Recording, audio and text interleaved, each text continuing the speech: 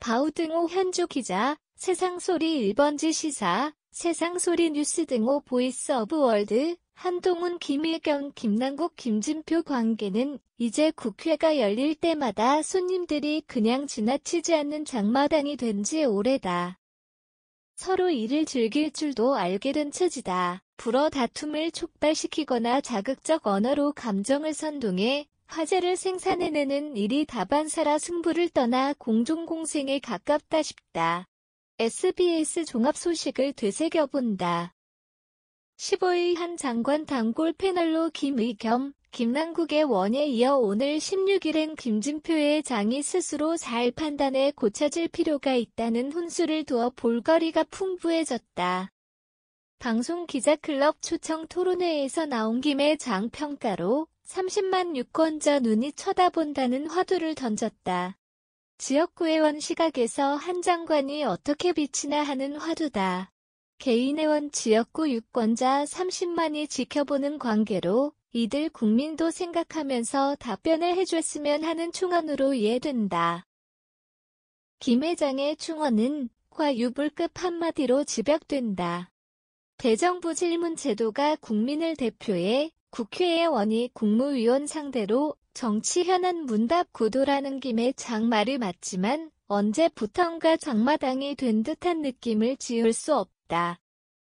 국회의원은 면책특권 이용해 막말이나 인신공격으로 자기 선전하는 판이 되었고 국무위원은 정책이나 현안보다는 반격하고 헐뜯는 광장이 된 셈이다. 김 회장은 이를 막말 대응하는 나쁜 행태라고 지적은 했다. 이런 김에 장시각으로 한동훈 김의겸 설전을 보면 어제 15일 사례가 대표적이다. 채널A 기자 대화 녹취록 청담동 술자리 김건희 수사 등 김혜원의 단골 메뉴이다. 이젠 어디를 건드리면 한 장관이 발끈하는지 민주당의 원들은 안다. 뉴스메이커 이미지다. 매번 한 장관 감정을 선동적으로 건드려 문답이 거칠어지는 장면이 뉴스가 된다. 반문은 한 장관 패러다임이다. 채널A 거는 녹취록 불법 유출 청담동 거는 가짜뉴스 김여사 거는 추미애 장관이나 이성윤 지검장 얘기로 반론을 펴는 패턴이다. 김남국의 원도 한 장관을 이젠 어떻게 다룰지 아는 듯 그도 문답 전개가 짐작이 갈 정도다. 15일 깡패 설전 사례다. 김성태 전 쌍방울 회장을 피해 작깡패 표현했다는 김혜원 지뢰의 깡패로 본다는 한 장관이다. 한 장관 경우 김남국의 원에겐 어떤 식으로 대응할지 학습이 된 태도다. 주가 조작 유죄 판결 거론하며 간단하게 판단은 의원님이 하라는 다소 뭉기는 투다.